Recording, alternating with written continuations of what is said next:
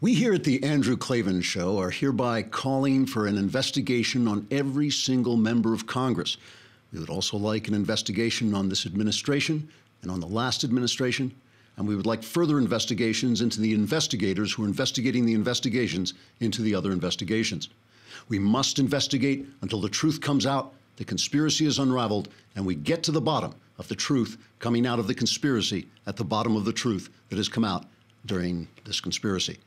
Without these investigations, it is our fear that government will devolve into a series of debates over ideas that lead to legislation.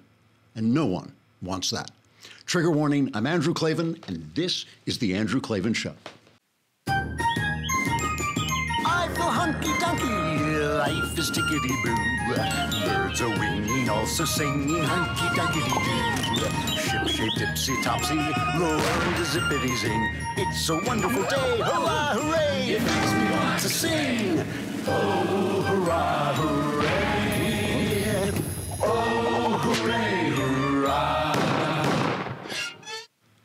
Does our government ever do anything but investigate other members of our government? I mean, that is now basically what they're doing for, for a living. It's mailbag day. That's the important thing. Yes. And I will try, I'm going to try and get to it sooner today. I feel like I've been putting it off to the last minute.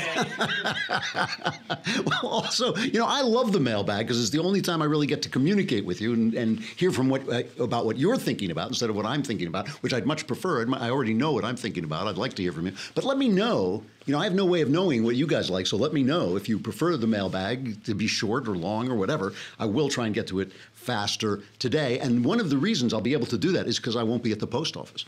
That's you know that's the, my usual problem is I have to stop what I'm doing and run to the post office and stand online. But but from now on instead I will be using stamps.com. Why? Because stamps.com brings all the terrific services of the US Postal Service right to your fingertips in your computer. You can buy and print official US postage for any letter, any package, any class of mail using your own computer and printer. It is easy and it is cool. Stamps.com will send you a digital scale that automatically calculates exact postage, and Stamps.com will even help you decide the best class of mail based on your needs. It really is like having the entire post office crammed into your computer, which is just a lot of fun and so much easier uh, I find anyway, than driving, stopping what you're doing and driving to the post office and waiting online and the rest. Right now, you too can enjoy the stamps.com service with a special offer that includes a four week trial plus postage and a digital scale. Here is what you do you go to stamps.com, click on the microphone at the top of the homepage, and type in Klavan. K-L-A. Is this guy, we ever going to get rid of this guy? K-L-A-V-A-N, stamps.com, and enter Klavan. You get a four-week trial plus postage and a digital scale with no long-term commitment, and you never have to go to the post office again, which is worth it. Listen, I don't want to talk about Roy Moore and his magical dingus forever. You know, I mean, I think like there's just a certain point at which Roy Moore's uh, crotch begins to lose. Um, uh, you know, lose interest for me. But I have to say, I got a lot of reaction to some of my reaction to what's going on, and I want to I to respond to that. I think it's important. First, a bunch of people said that yesterday I kind of convicted him too quickly. Uh, uh, basically, I'm believing his accuser, the girl who said when he was uh, lady now, who said when he was when she was 16, he attacked her, uh, choked her, threatened her, said no one will believe you if you tell anybody about this. Today, Darrell Nelson, the stepson of that woman, Beverly Young Nelson, came out and said he doesn't believe her. So let's let's hear what he has to say. Mr. Moore, I support you. I don't believe the acts that she claims you've done. I, I don't believe it. I've known the woman. She married my father many, many years ago. I've known her for a while now. And I truly do not believe that she's being honest about this.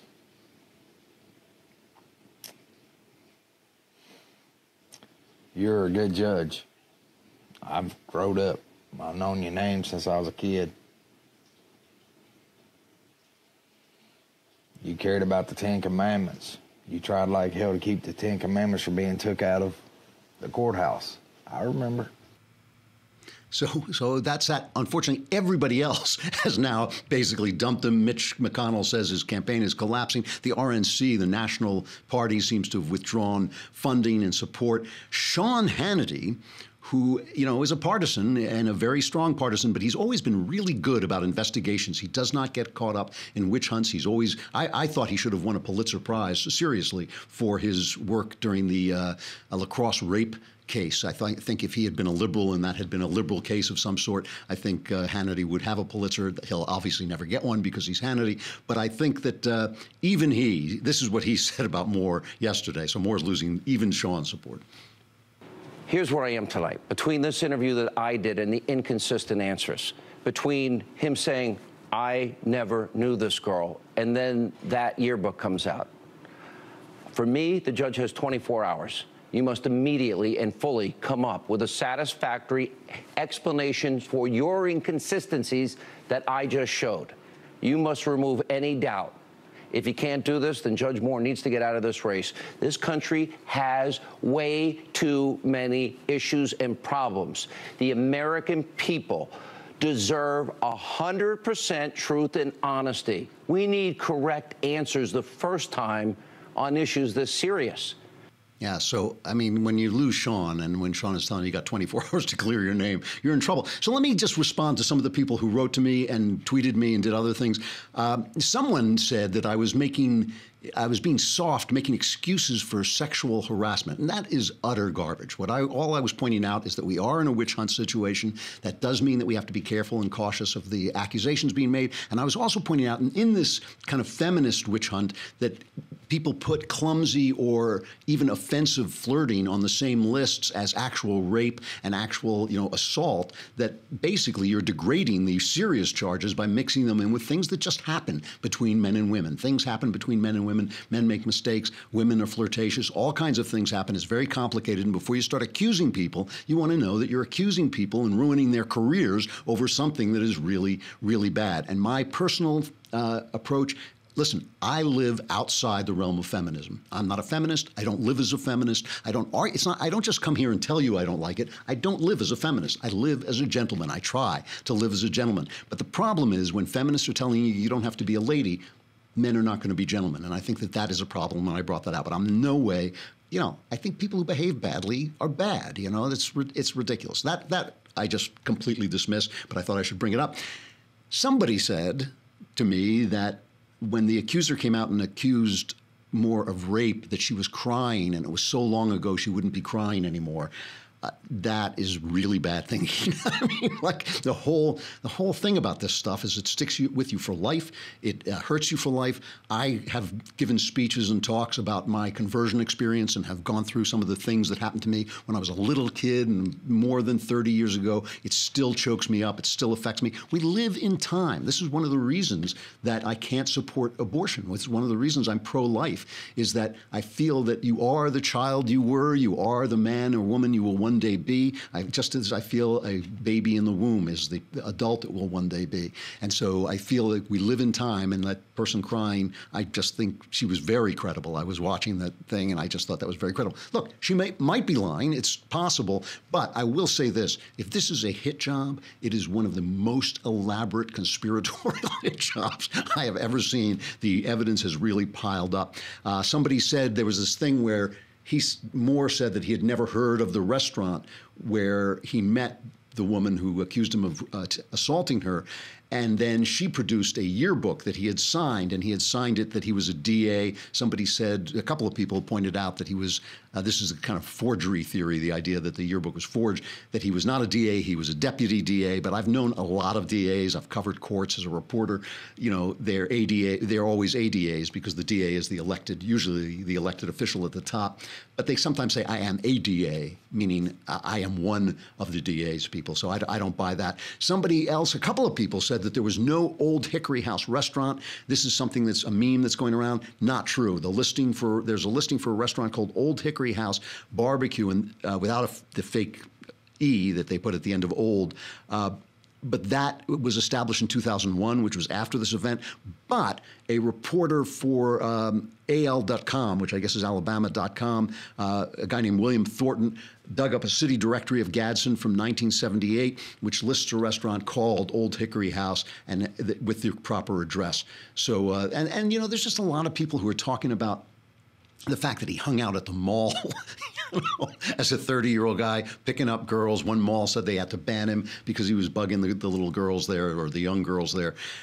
There is a report from the Daily Beast, this is just their report, that even Steve Bannon uh, has is starting to think about dumping him. Uh, you know, he has come forward a couple of times and talks about you know how he's going to support him. But they, the Daily Beast, says that over the past few days, Bannon has begun privately taking the temperature of those in his inner circle to see what they think of the Moore allegations and to get their sense of how to proceed. And according to four knowledgeable sources, late last week, the Breitbart chairman Bannon said. I will put him in a grave myself, always with his, his always restrained, uh, his restrained talk. I will put him in a grave myself if he determines that Moore was lying to him about the numerous accusations a source close to Bannon relayed. And again, t- tomorrow we're going to have, Seba- have we got Sebastian Gorka tomorrow? Is Have we talked to him? We're supposed to, yeah. Okay, so we're supposed to have Sebastian Gorka, and this is something I really want to ask him about because let's let's just go back to this that press conference that Mitch McConnell held with Donald Trump, and he was asked about the fact. Remember, Trump and McConnell were supporting Luther Strange, not Roy Moore, on this, and Bannon was fighting, saying, "I'm starting a civil war within the Republican Party to get rid of what he calls the Uniparty. Uh, it's war, it's civil war, blah blah blah." And this is what Mitch McConnell said about that. You know, the goal here is to win elections in November. Back in 2010 and 2012, we nominated several candidates uh, Christine O'Donnell, Sharon Angle, Todd Akin, Richard Mourdock. Uh, they're not in the Senate. And the reason for that was that they were not able to appeal to a broader electorate in the general election. Uh, my, my goal as the leader of the Republican Party in the Senate is to keep us in the majority. Uh, the way you do that is not complicated. You have to nominate people who can actually win because winners make policy and losers go home. We changed the business model in 2014. We nominated people who could win everywhere. We took the majority in the Senate. We had one skirmish in 2016. We kept the majority in the Senate.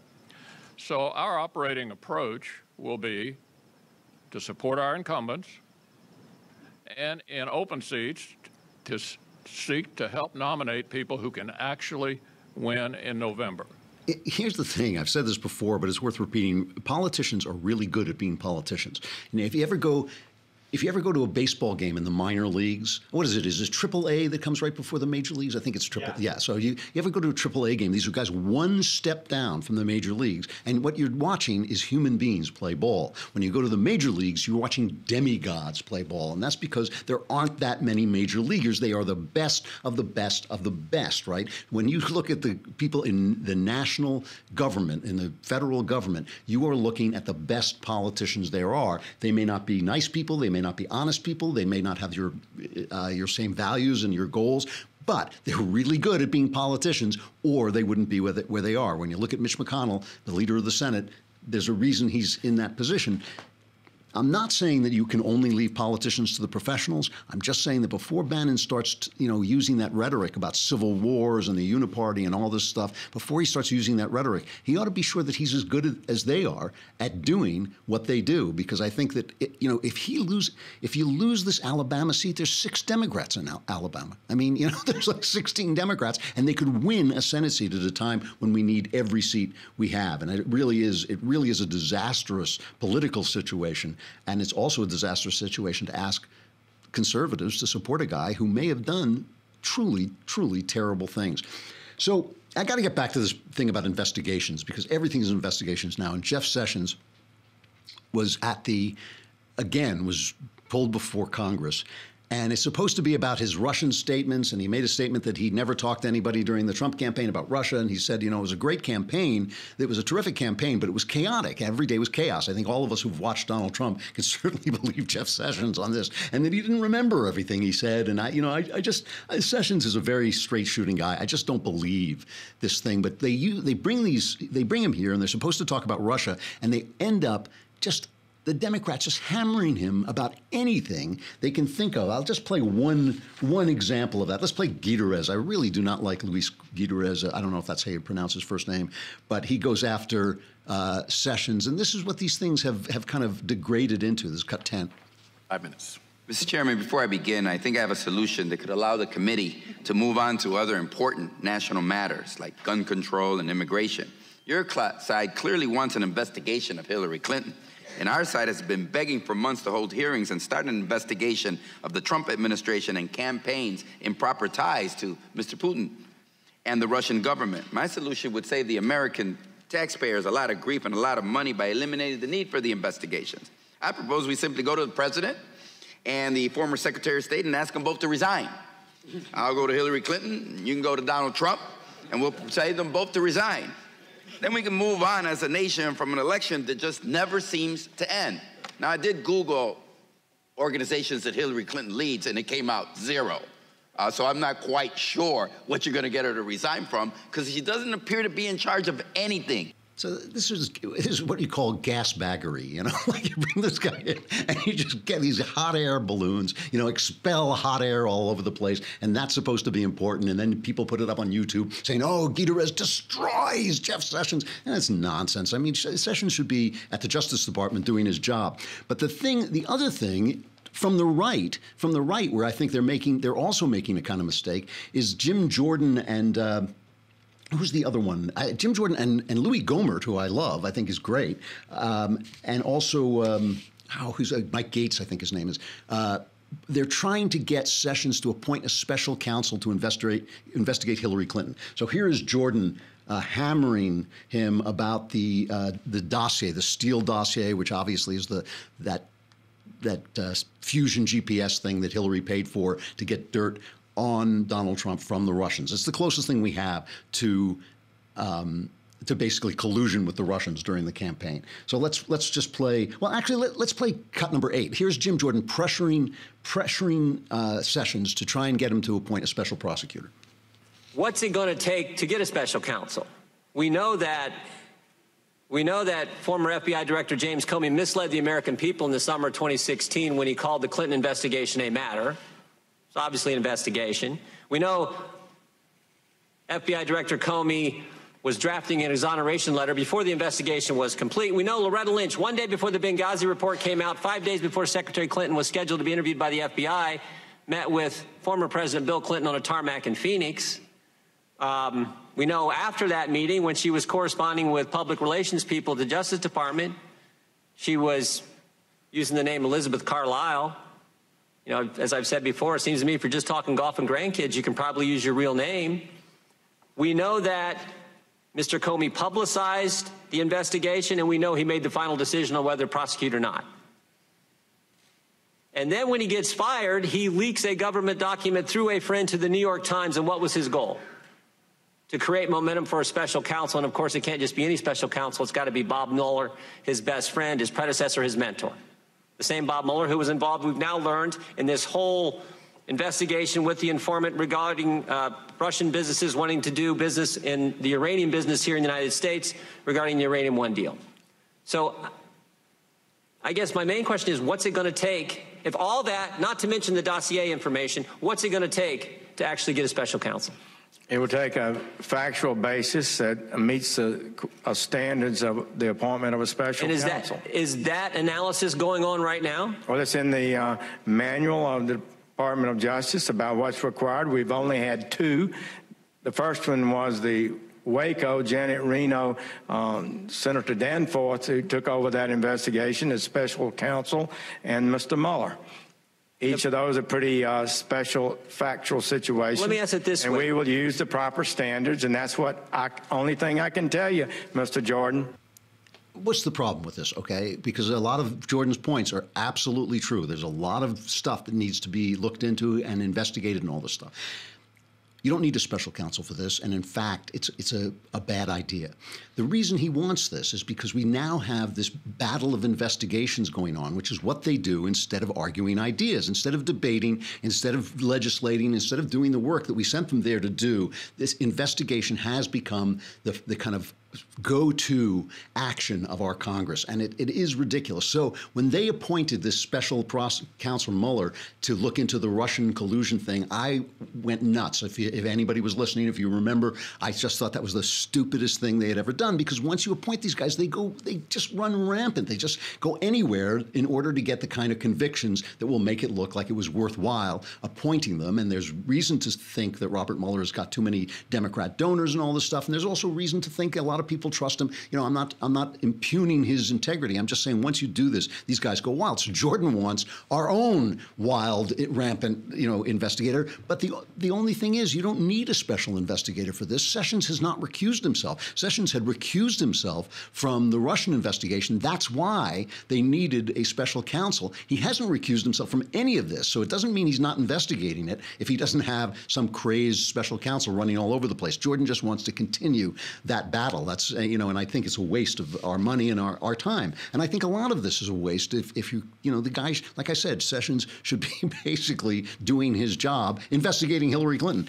But uh, I, I, think that this is just it's a waste and it's a the wrong way to run a government. It's like a tin pot. You know, it's like a uh, tin pot dictatorship where you just investigate everybody. Hey, you know, when I was uh, working more in Hollywood, I used to get to fly, uh, you know, first class everywhere, and my travel was all arranged, and there was always somebody I could call at the studio to help me with travel. Now, you know, I'm an independent contractor, and now I just have to rely on myself or you know my wife or something to get going. But that's why there's upside com. I want to make sure I've got the right uh, the right thing. It's upside.com. Yeah. Uh, upside.com because upside.com gives you what big businesses have for travel. It gives you the kind of support you want and I've been trying to get you to try this. Now I've figured out a way. I'm going to bribe you because I know my audience. You're corrupt. You're low life. I'm going, to, I'm going to, to, bribe you. Here's what I'm going to do. If you book a, a business trip through Upside, not only will you get all the support that Upside provides, but if you go to upside.com, I will give you two of the best gifts anyone is going to give you this holiday season. The first is a free pair of Bose SoundLink wireless headphones. I use Bose headphones all the time in my work to, you know, if there's somebody mowing the lawn nearby and I'm writing, I, I put them on. They're incredible noise counts, counts, cancelers. They're just great. And that'll give you some peace and quiet when you take your trip. And second, I will give you the gift of better business travel experience because Upside has customer service specialists who look out for you every step of the way on your business trip. They handle any problem that might pop up. Their team is hard at work 24 7 to make sure your flight, hotel, and rental car all go off without a hitch. They're available on demand by chat, phone, and email whenever you need them. You have a problem, just call them, they will fix it for you. Only Upside monitors your business trip around the clock proactively, keeping you posted on everything from the weather in the city you're going to to changing your flight home so you can adjust your meeting schedule. It really is a level of service that only you only get in big business and now you can get it in your small business too.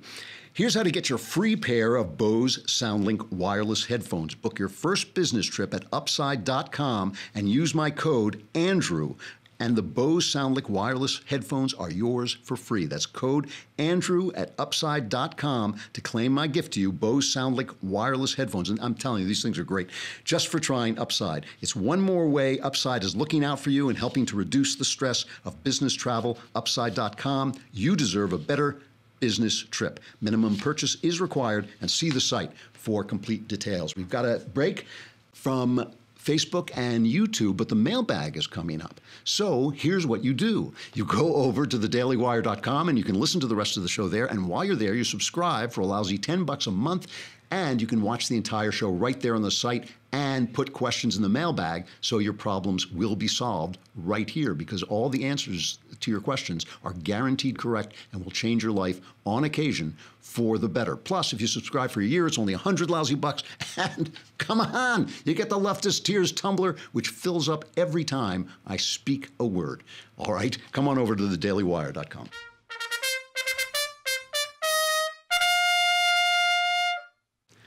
All right, you know what? I'm going to just go to the mailbag. I have more to say, but I think that's that's the problem. Let's do the mailbag. Woo! Yeah! I said I would get to it a little earlier. I'll get to it a little earlier. All right, I got a lot of good questions. That's why. All right, from Dominic, master of the single nostril breath, Klavan. I understand the stance, the stance that large scale conspiracies undertaken by the government seem unlikely due to the next level incompetence of the people who run the show. Right. That, you know, a conspiracy is just two people making a plan. So there are conspiracies, but they usually come a, a cropper because people are incompetent. That being said, how on earth does what's his name, Barack Obama, and it is hard to remember his name now that his legacy is a smoking pile of ash uh, in the Trump administration, but how does, how on earth does Barack Obama still have such a rich and fervent following despite the serious corruption of his administration that is so glaringly obvious to the rest of us? It's his race. That is why. There is, on the left especially, but I think throughout the country, there is a racial pathology that we have fallen into.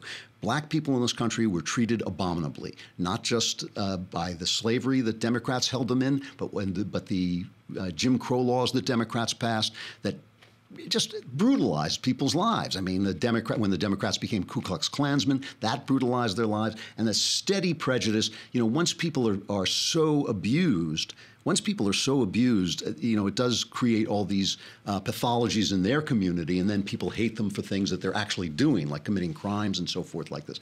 So, once America lost its sense of itself as a virtuous country, which it did have after, especially after uh, World War II, lost its sense of itself as a virtuous country and reckoned with this. They felt a lot of shame. Americans felt a lot of shame, and they changed. And this country is no longer an institutionally racial, racist country. It is no longer a country where you can pass laws hurting people because of the color of their skin. And thank God for that. That is a good, good thing. But this shame has made white people, especially pathological in their guilt and in their attempt to display virtue. And they display virtue even when it hurts black people. The uh, Barack Obama administration was lousy for blacks. It was lousy economically. It was lousy in terms of crime. It was lousy in terms of in terms of turning communities against the police who need desperately need the police. Obama played the race card every time he failed, which was every time he tried to do anything. And the left just could not let the first black president be a failure. They could not let it happen. It would mean that they themselves were part of the shame of the past. And that is a pathology because none of us is, we're not responsible for the past. We're only responsible for today and tomorrow and changing things so that the stuff that happened to black people in this country doesn't happen again. And they cannot let go of their virtue long enough to judge Obama rightly because it would just mean that their entire philosophy is wrong. And that's why every time anybody criticized him, it's like you're a racist, as if you can't criticize the president. I mean, if, if Trump, if they had held Obama to the standard they held Trump, which is that every word out of his mouth is taken in the wrong way, Obama wouldn't have lasted a month. All right, from that, that's my answer. That's why. It's racial pathology on the left. Uh, from Katie, why are you and Ben so hard on Knowles? He seems pretty likable and talented to me. Reminds me of a young Al Pacino. Katie, you're wrong. He's a total knucklehead. no, no I'm, I'm, hard on Knowles because I'm a New Yorker and I'm hard on my friends. Ben is hard on Knowles because he's a sadist, basically, right? he just likes torturing Knowles, and it is so much fun to torture. Uh, from uh, Danny, dear highest incarnation of physical beauty and mental badassery, Klavan, I'm a Christian and a freelance DP. That's a director of photography. He's the guy who basically makes movies look great. They always give the credit to the director, but it's usually the DP. I've been in the film industry for 10 years years now, and I'm clearly outnumbered as a Christian. I'm only 31, and dude, have I aged because of these people. Yes, it's obvious they, they have no interest in making anything of Christian value, and the people who do make Christian media suck at it. Would you consider writing screenplays again to save us from God's Not Dead 3? Danny, let me tell you something. I will. This is absolutely true. Christians in this town get together and meet all the time, and sometimes I am there.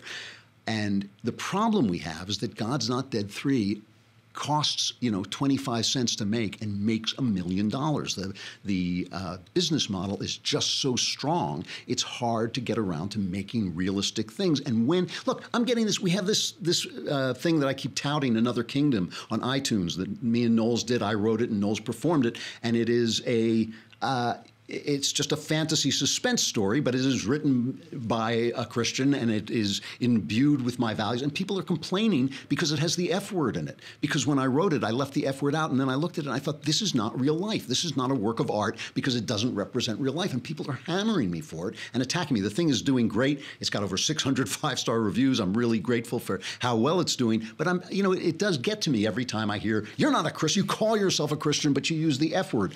You know, I don't often use the F word, but, but the fact is, people do, and you can't represent people realistically in a work of art. So I, I will tell you, a absolute. This is an absolute true story. I was called to a meeting of several film Christians to sit together and talk. I brought these points up. I said, I do not want to make candy, you know, I, God is the God of the real world. He's not the God of Candyland. I don't want to make movies about Candyland. They called me up and, in the nicest, most Christian, most polite way, asked me not to come back they said, you know, you don't fit in here. And it's not like I was screaming and yelling. I just made the point uh, that you're making here. It's, it's a problem because their business model works, and Christians do not want to hear what I have to say. Uh, anyone who wants to hear me say more about this, uh, there is a pamphlet uh, on available on Amazon called "The Crisis in the Arts." It's by me. I think it costs a buck. I don't get any money for it. It was put out by the David Horowitz people, and the, and it supports them. Uh, but it's a very short pamphlet, and it talks about how the arts work and how what Christians misunderstand. The most important thing that Christians and conservatives misunderstand is that Christian and conservative work does not look like Christian conservative world. Those are two different things. The things that our founding fathers read to build this country were filled with bloodshed and sex. They read the Greek tragedies, they read Shakespeare, they knew all the great classic work that deals with sex and violence and, and the Bible, by the way, which also deals with these things. It's very frustrating, Danny. I completely uh, hear what you're saying, and I, you know, I, I don't have an answer because they're they're these candy. I don't what to, I don't have a better word to use for these these candy covered uh, Christian films make a lot of money. So I don't really have an answer for how to break through that business model. Uh, Cassidy, love your podcast. I listen to it every day. As a Catholic, I want to charitably ask about your belief in theological truths and how you come to them on your own. What leads an individual Christian to the fullness to truth? In other words, without the church, I guess. Uh, uh how do you know that you're always being guided by the Holy Spirit? Well, you know, this is the great divide between Protestants and Catholics. Both sides are looking for uh, an absolute bedrock authority, and the Catholics use the church and the Pope, and the Protestants use sola scriptura, you know, they use the scripture. Uh, I reject both of those because I don't think there is anything on earth that is absolutely bedrock. We are meant to use the Holy Spirit to find the truth and stumble toward the truth. I do believe the Bible is inspired. I do believe people, uh, I read, uh, you know, I'm, a ve- I'm very Catholic friendly. I read a lot of Catholic theology, but I don't look for it alone. I look for it in the great works of Catholic theology and Christian and Protestant theology. I look for truth in, uh, you know, the great traditions and all these things. The problem for me is that the Catholics are really good uh, at not falling into the mistake of worshiping the Bible instead of worshiping God. I think that is a problem among Protestants. The Protestants are very good at not building a vast uh, mountain of uh, precedent like the Supreme Court that has nothing to do with the actual scriptures. And I think that is a problem with Catholicism, that things that some of the things the Catholic the Catholics believe have built up over the centuries that just are not connected to what Jesus had to say and what Jesus did. So I think that both sides, looking for absolute certainty, both sides go astray in some way. And what I do is I stumble forward through the dark with my Bible in one hand and great theologians in the other, and prayer, and try and find my way always with a kind of humility that I might be mistaken. It might not be me. It might not. I might not be being guided by the Holy Spirit, and that's why I'm slow to. I try to be slow to judge, and I try to go forward, you know, carefully and in prayer. Um, from Annette. Uh, Hi, Andrew. I have been a practicing Christian for as long as I've been breathing, but in the last six months I have caved into fear and have not been attending church. I watch services online, but I cannot bring myself to take my family to church despite the fact that my husband is a concealed carry holder. Uh, I recall as a child hearing about Christians butchered in their churches in the Middle East and hiding their services as a means of survival and thinking, I hope that I can have that faith and courage for God if it ever comes down to it. Turns out I'm a total wimp. I, I think what she's saying here is she's worried about the church shootings. Is that yeah. Do you have any insight on how I can get past my fear and be present without having to run out of service halfway?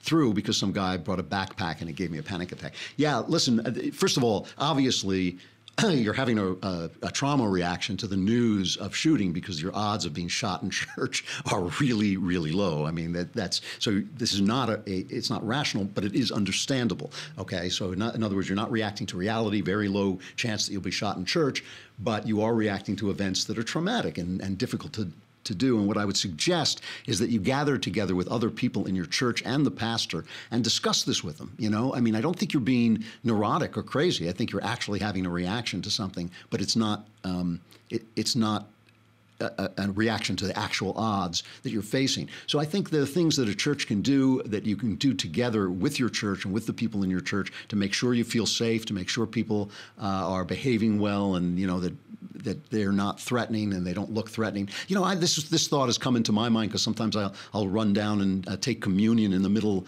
of the week, and sometimes there'll be like you know homeless people who wander in, and I think about this too. Uh, but I think you have to jo- join together. You have to do this with other people.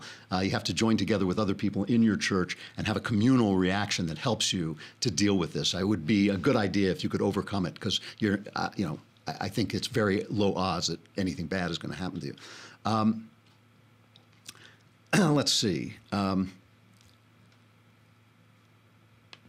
if it pleases his shininess, Lord Klavan from Luke, I request an audience with thee. I was baptized and raised Roman Catholic, and like every other curious know it all kid who goes through biology class, I rapidly turned away from Jesus, thinking that I and all my 15 years of infinite wisdom knew better. I became an atheist, believing that science and religion are irreconcilable, but after coming out of a seven year haze of materialism, I've begun to delve into my spirituality uh, and have begun back down the path towards God. My question is about prayer. I find it hard to pray when I don't know who I'm praying to.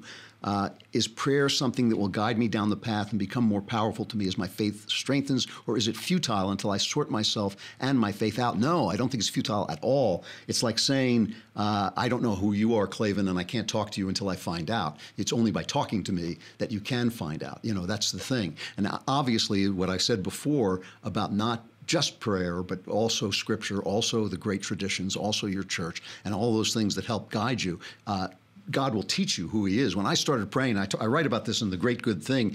I was like, it was complete no man's land for me. I didn't have a church. I didn't. I didn't. Uh, wasn't a Jew anymore, a believing Jew anymore. So I was just praying in an absolute vacuum. And I was thinking, like, well, you know, can I pray for a Cadillac? Can I pray that like I can have an affair without getting caught? Can I? Pray? You know, what can you what can you pray for? Can you pray for anything? What, how does it work? And slowly, uh, and not actually all that slowly, God taught me who He was, and He's still teaching me. But He taught me, you know, what what it is, what kind of prayers are important, and which ones will bring me closer to Him. And coming closer to Him just makes your life so much more joyful that it's just worth doing every day. I really do believe that people should be alone for at least 10 minutes every day, uh, 15 if you can do it, and pray out loud. So you know people don't hear you, but if you pray out loud, you finish your sentences and uh, and you finish your thoughts, and it's really helpful. So that's you know I think you have to pray to find out who God is, just like you have to talk to people to find out who they are. All right.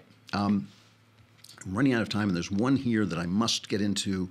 Uh, Dear Lord Clavinus Maximus the Wise, I was in a relationship for two years with a woman I absolutely adored and truly believed that I was going to spend the rest of my life with. We were deeply in love and making arrangements to move in together when she decided out of nowhere, at least from my perspective, that she didn't think we had a future together. It's been six months and I'm still not over her. What advice can you give me for trying to move on and finding a woman to start a life with? Uh, that's from Jacob.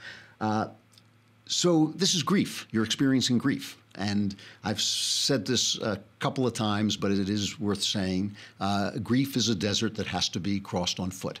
And the reason I say that is because uh, grief is not something, you know, people want you to get over grief. They're very impatient with it. It usually takes about a year. That is the average uh, time it takes to get, get through grieving.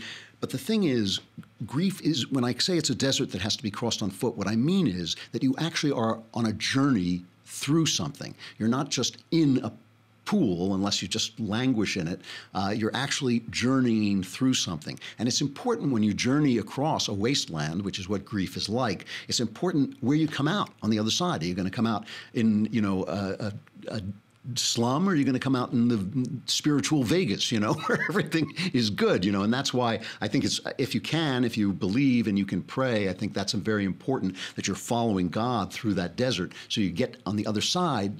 Uh, when you come out on the other side, that you are actually richer and deeper for the journey. That's what you're trying to do. You're trying to use the grief to make you a better person. Listen, I've grieved over numerous things, including a broken heart.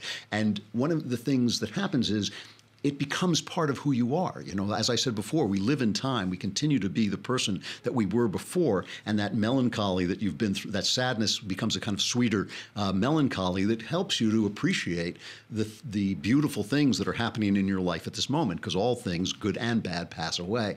When you come to the other side, and you will, I, you know, if you keep journeying, the the reason people get stuck in grief is they become proud of their grief. They become fascinated by it and addicted by it, and so that you don't want to do that. You want to keep moving, keep keep walking forward. And when you do, just open your, you know, your, your heart will open up again. You open your heart up to love, and you don't have to go and find the girl you marry to, you know, the sloppy seconds to replace this girl. You want to start to meet women and hopefully find one that you can love again. And I know you will. I know you will. You just have to make that journey and be patient with it because not only not only do we ourselves get impatient with our grief, the people around us get impatient with our grief. Even if they love us, they just get so tired of hearing us bring up the same subjects again. And you know, why? When are you going to stop? And what you have to realize is this is part of the process. It's a it's a journey you just cannot uh, hurry. You just have to make the journey, and uh, you will get to the other side. But it's important, and if you can pray and uh, believe, uh, that will help you to get to a, a, good place when you get to the other side. Because grief is part of life. Um, can I do one more? I think I do one more, right?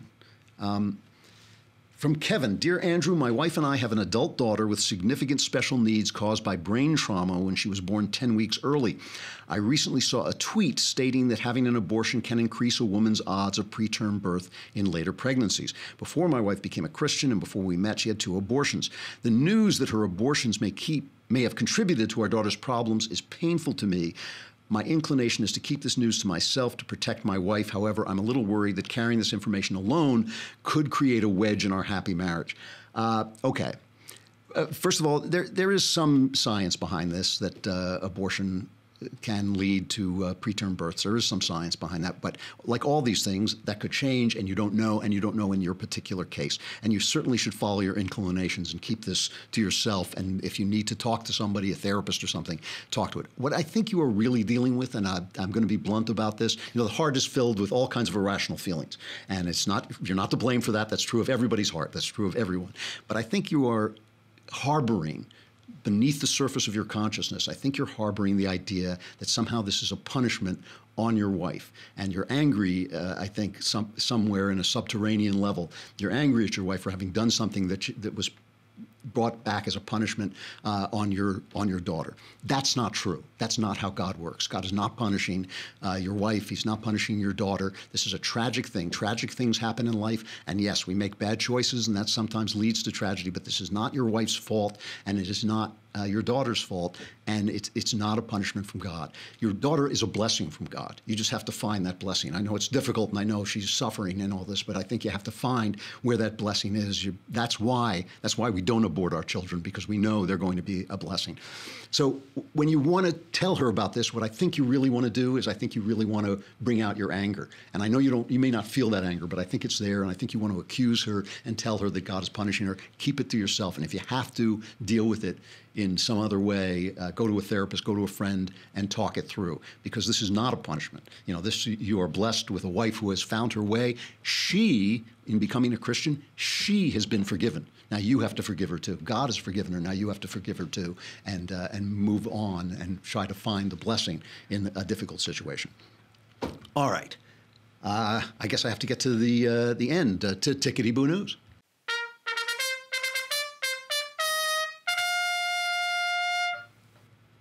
so I have to bring this up. Global atheist convention called Reason to Hope is canceled because no one wants to go. and I don't mean to be triumphalist about it, but here's the story. I think this is from us. This is the Daily Wire. The third annual Global Atheist Convention, ironically dubbed Reason to Hope, has been canceled due to dismal ticket dismal ticket sales. The Sydney Morning Herald reports. Turns out offering nihilism packages hope doesn't sell too well to the masses. The conference, which was scheduled for February of this year, was set to be headlined by atheist novelist Sir Salman Rushdie, who was a huge get for the convention organizers. You would think so. This is the guy, the Ayatollah Khomeini. This is when Islamism first really rose to the surface. The Ayatollah Khomeini issued a fatwa against Rushdie for his novel The Satanic Verses in 1989.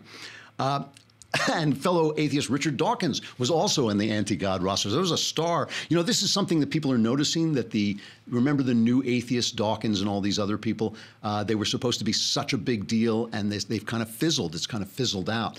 And I, I will tell you why I think this has happened. I believe that the new the popularity of the new atheists was an attempt to salvage multiculturalism in the face of Islamism, of, of radical Islam.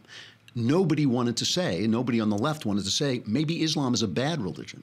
Maybe, you know, maybe there is a God and God has certain features and qualities, and you can be wrong about God, who God is. I think a person who is serving a mean, nasty, judgmental little Allah who wants him to blow people up because he doesn't believe in him is not serving God at all. I don't believe that Allah is Allah. I don't believe that Allah is God.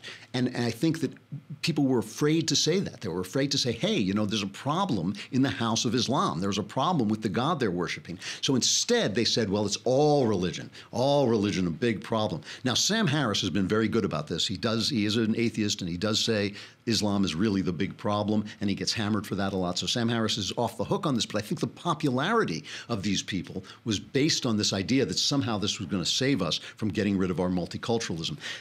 I, I, told the, I, I, was writing books for Thomas Nelson, some of my young adult thrillers for Thomas Nelson, and I said to him, "You, you don't have to be afraid of atheists because when you argue with them, you win. Their arguments are lousy. And, and look, some of these people, Dawkins is a smart guy. His arguments are lousy. You know, I mean, Sam Harris, smart guy. His arguments are bad. You can beat these guys in argument. I'm, I love to have atheists come out and say what they have to say because I think we can win that argument. The things that really hurt God or corruption in the church. I mean, Catholics get angry at me because I'm always because I keep going back to the uh, ch- the priest molesters, not because I don't like the Catholic Church, because I like the Catholic Church, and these that's what hurts God. What hurts God is small-mindedness and meanness, and you know, hammering people with your Bible for their lives instead of forgiving them which is what God keeps telling you to do on every page of the New Testament.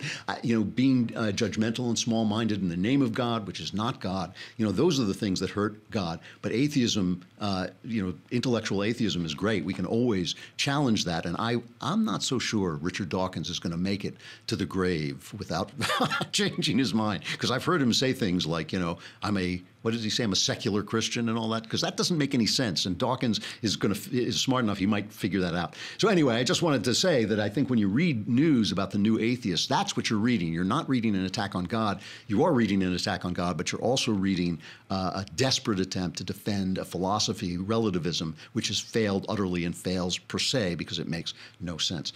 Tomorrow, hopefully, Sebastian Gorka will be here, and we will we will put him we will put his feet to the fire and question him about about this civil war in the GOP and what Roy Moore means for it, please be there. And next week, are we going to do uh, run that Scott Adams interview? Yeah, I interviewed uh, Dilbert's creator, Scott Adams. What a great interview that was. And that's going to be next week, I think, on Tuesday, probably, since Thursday's Thanksgiving.